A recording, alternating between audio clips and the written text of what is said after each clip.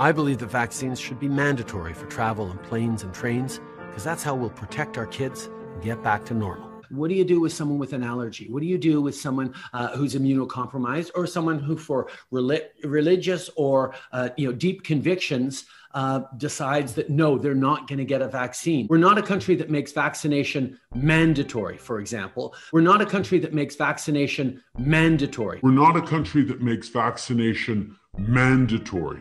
I believe that vaccines should be mandatory for travel on planes and trains.